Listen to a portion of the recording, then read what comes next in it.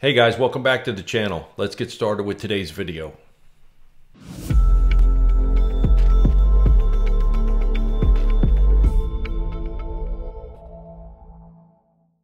In this episode, we're going to give you an overview of the storage medium and formatting options available within the full line of Mobotix cameras. This is where you can format an SD card and also decide on a primary target solution for your recordings.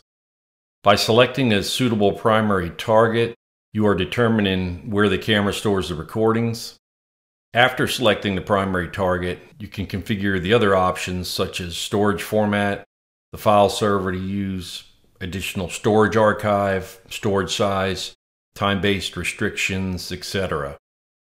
This section provides an overview of the various storage methods, which will be discussed in more detail as we go along here.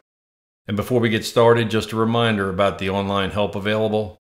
Just click that yellow question mark in the upper right hand corner when you need more info within the page currently displayed. There is also a ton of information available from our website, mobotix.com, and our community pages at community.mobotix.com. Okay, let's get started.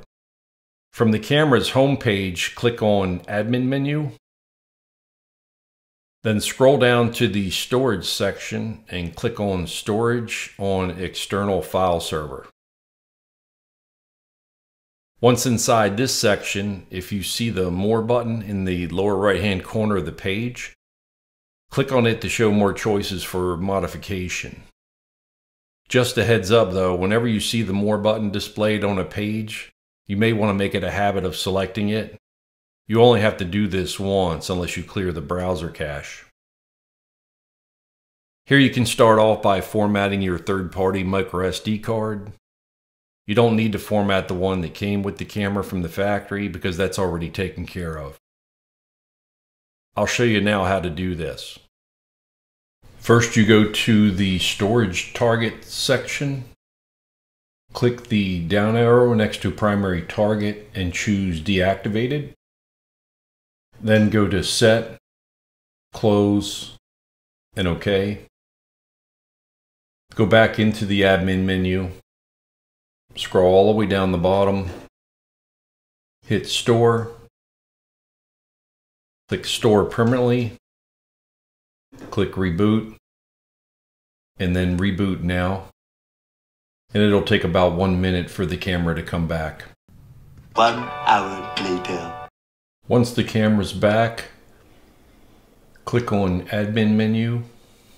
Again, scroll down to storage on external file server.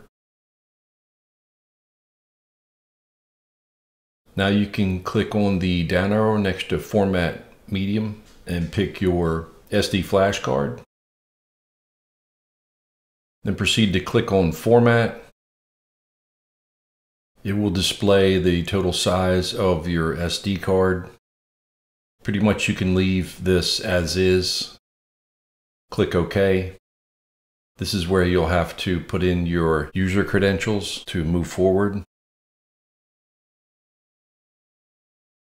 Once you've entered those, click OK, and the format process of your micro SD card will begin.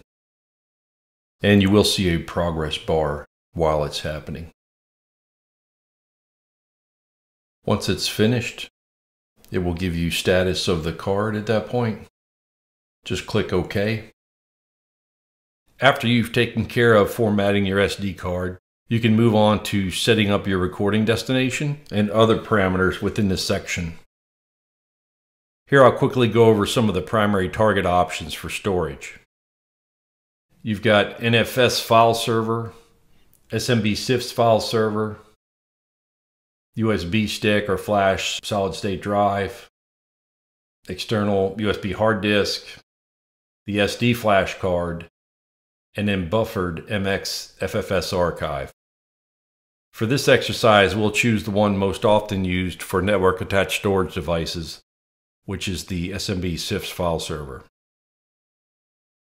Enter the file server options for your storage device, and once you've done this, you can test the connection here.